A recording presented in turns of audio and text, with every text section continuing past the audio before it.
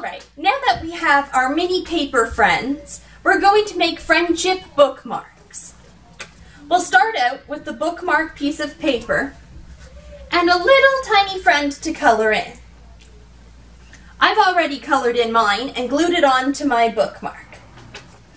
Now we're going to decorate the top using a piece of yarn.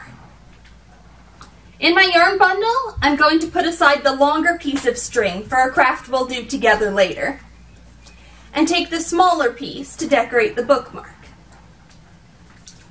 Fold the yarn over and string them through the hole. It'll make a little loop at the back and you just pull the ends through. Now, take beads and put them on your yarn to make it a little more colorful. Here's a hint.